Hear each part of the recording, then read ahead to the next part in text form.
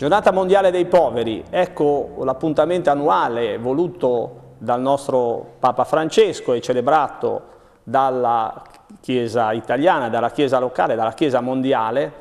come momento oltre che operativo, concreto, ma anche come momento di riflessione personale sul nostro rapporto con la povertà e soprattutto col nostro rapporto nei confronti di chi fratelli, di quei fratelli che vivono in una condizione di bisogno, di soggezione, di separazione, di distanza eh, nei confronti di un, rispetto ad una vita dignitosa. Ecco quindi questa riflessione che viene anche sostenuta anche da un'azione concreta, cioè dalla presenza di un banco per la raccolta di offerte organizzato da Caritas Diocesana insieme al banco farmaceutico e a e, e al banco alimentare. Tra l'altro mi piace anche ricordare che il 26 di eh, ultimo sabato di novembre si celebra l'annuale raccolta del banco alimentare a cui partecipiamo ormai da anni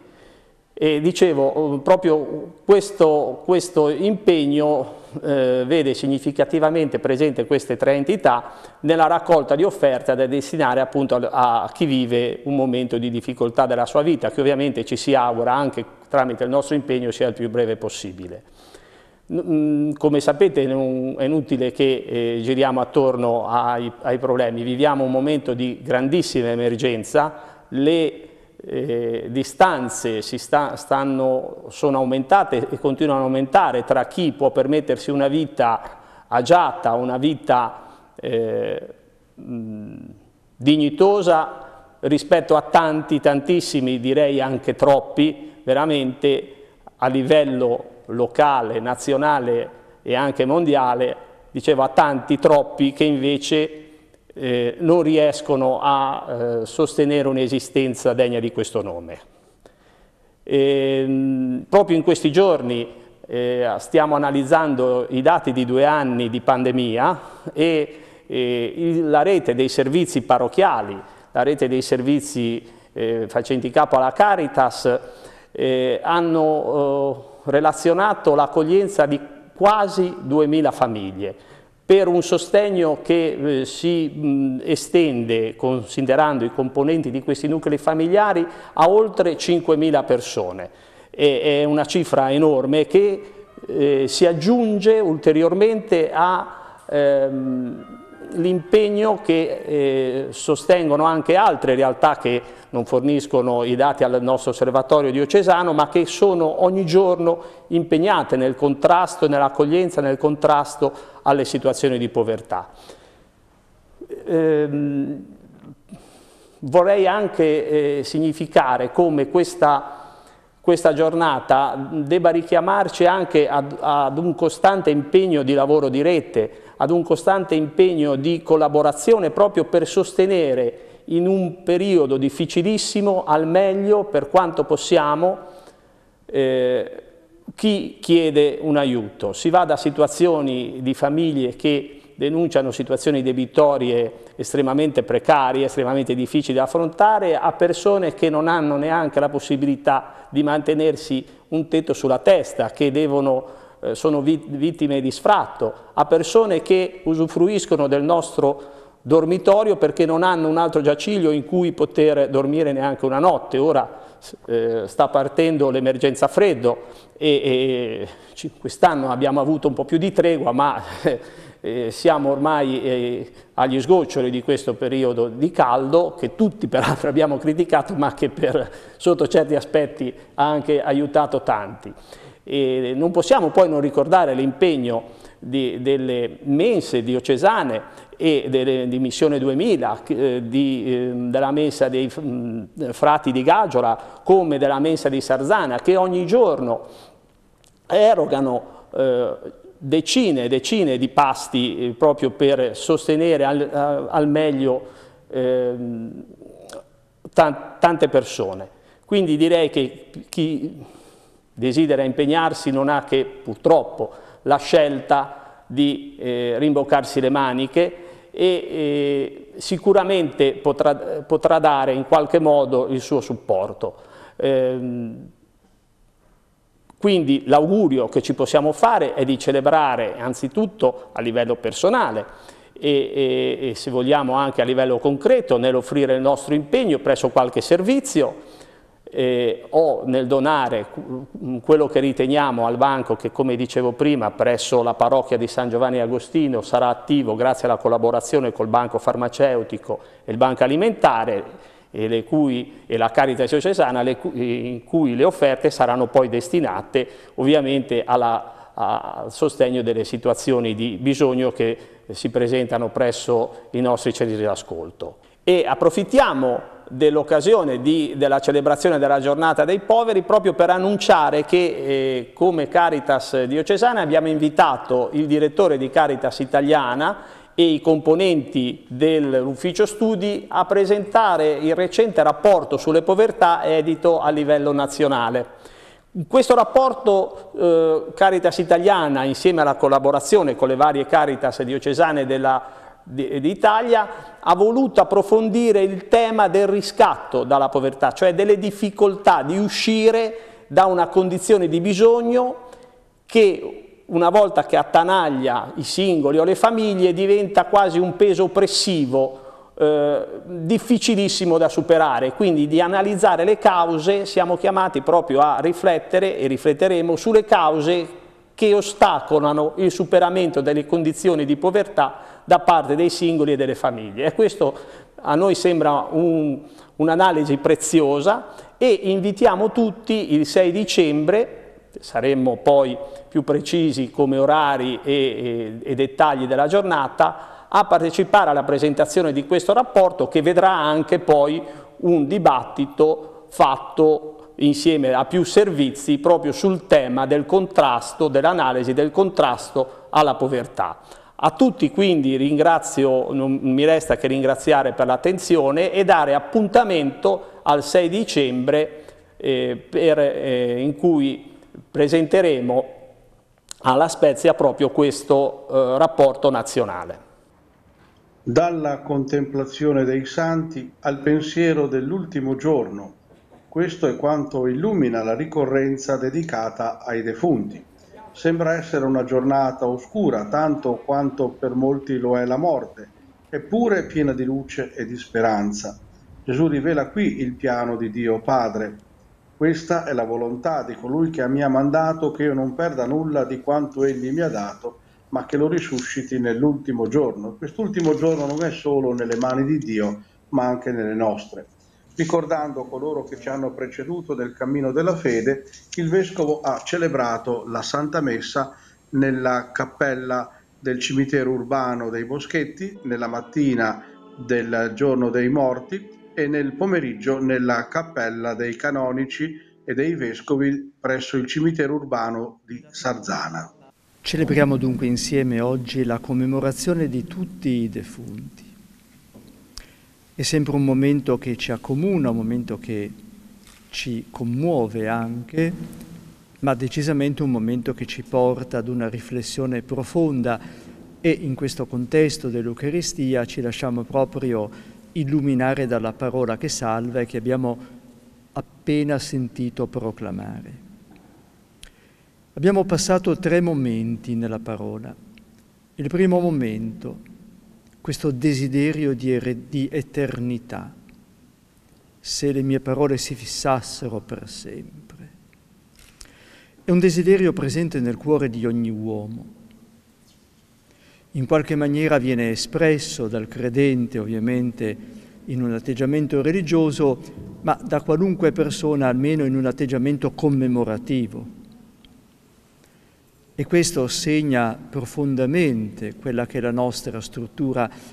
Non possiamo pensarci solo così limitati nel tempo.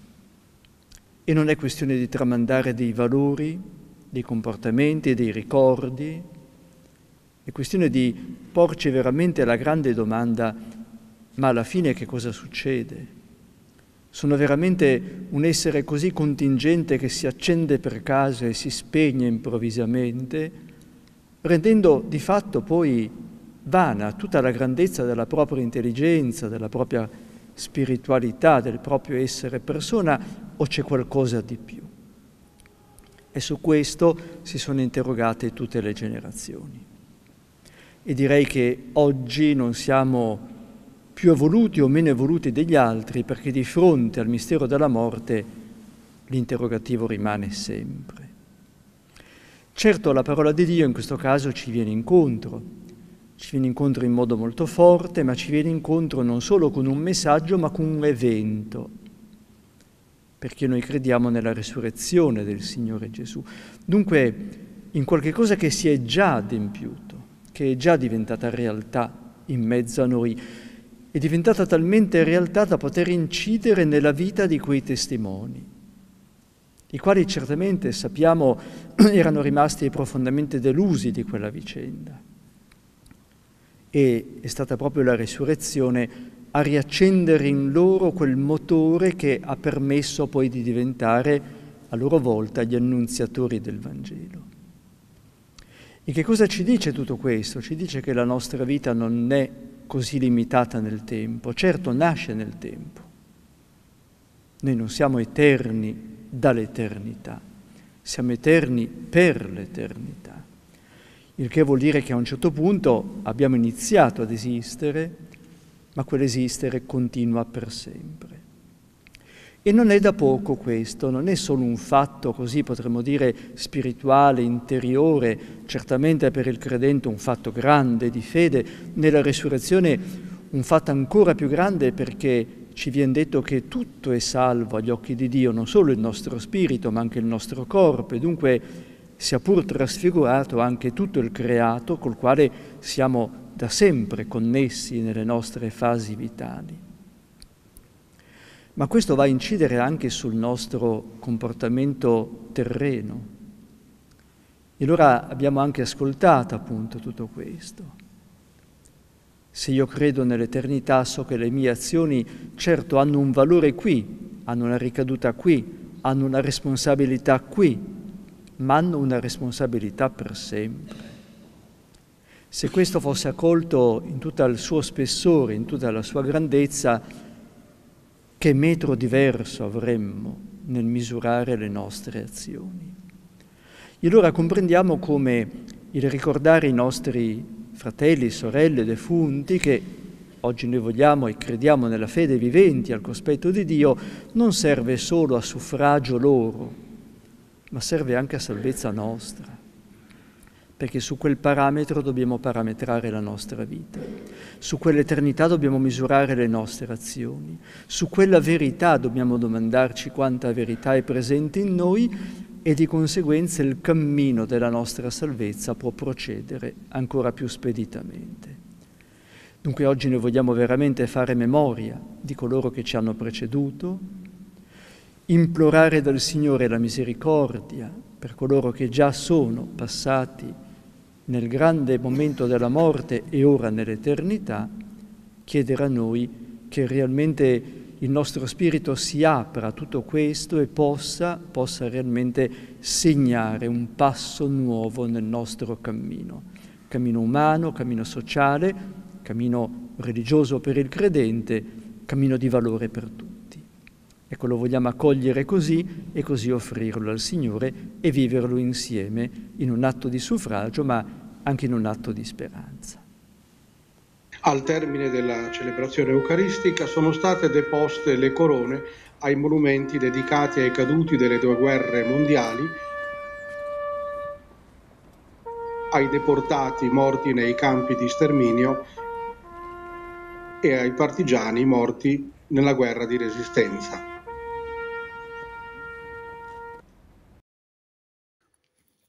Le donne impertinenti nella Bibbia, un confronto tra parola, arte e musica, è quanto propone il Polo FAD dell'Istituto Superiore di Scienze Religiose Liguri alla Spezia in via Malaspina 1 il prossimo 18 novembre. Nel pomeriggio alle 15.30 eh, inizierà l'incontro a cui interverranno il professor Don Gabriele Maria Corini, docente stabile per la, l'area di Sacra Scrittura dell'Istituto Superiore di Scienze Religiose Liguri del Polo FAD di Albenga, la professoressa Clara Vigorito, docente associato di arte e fede al medesimo Istituto Superiore eh, di Scienze Religiose presso il Polo FAD della Spezia e il professor maestro Niccolò Ciuffi, musicologo, docente e direttore di coro. Il professor Corini ha pubblicato recentemente proprio un libro del, su questo tema, Donne impertinenti, l'intreccio narrativo al femminile nel libro dei giudici. Si tratta di donne che si distinguono non tanto per la loro grazia e femminilità, quanto piuttosto per il loro agire non convenzionale, facendo cose talvolta del tutto inaspettate. Gabriele Maria Corini, discepolo del Cardinal Martini, è licenziato in Scienze Bibliche ed Archeologia presso l'Istituto, lo, lo Studio Biblico Francescano di Gerusalemme. Ha conseguito poi il dottorato in Teologia Biblica alla Facoltà Teologica di Milano, è membro dell'Associazione Biblica Italiana e appunto docente stabile di Sacra Scrittura presso l'Istituto Superiore di Scienze Religiose Ligure. E con la qualifica eh, eh, che lo contraddistingue,